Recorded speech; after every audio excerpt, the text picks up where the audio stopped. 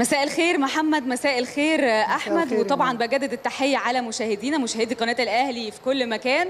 طبعا يعني آه، كل الناس مهتمة هنا من داخل مقر النادي الأهلي بالجزيرة بالقمة ال 120 آه، عايزة سريعا بس اطلعكم على أبرز المستجدات اللي حصلت النهارده. يمكن إحنا متواجدين من آه، 8 الصبح ولكن مع انخفاض درجات الحرارة دلوقتي ومع بدء يعني غروب الشمس بدأ زيادة توافد الأعضاء أمام الشاشة العملاقة اللي هيتم آه، عليها عرض طبعا آه، ماتش القمة في تمام الساعة 9 مساء.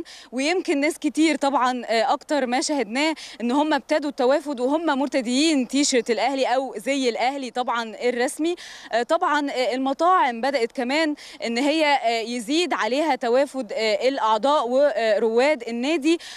يمكن كمان في شكل تنظيمي جدا في استقبال الأعضاء داخل المطاعم أو كمان أمام الشاشة العملاقة علشان تجنبا طبعا لفيروس كورونا زي ما كلنا عارفين بما إن هي أول مباراة قمة في الدوري بعد توقف خمسة أشهر. يمكن كانت دي آه، أبرز الأجواء عندنا هنا من داخل مقر النادي الأهلي بالجزيرة. عودة إلى الاستوديو مرة أخرى. بنشكرك يا مريم في الرسالة دي وزي ما إحنا شايفين تغطية كاملة من النادي الأهلي من الملعب من كل حتة. قناة النادي الأهلي النهاردة مش سايباكوا في يوم كامل. ونروح بقى للي ما نقدرش يجي ذكر القمة بدون أن نذكره. الملك المتوج على. عرش القمة تاريخيا من المدربين مستر مانويل جوزيه.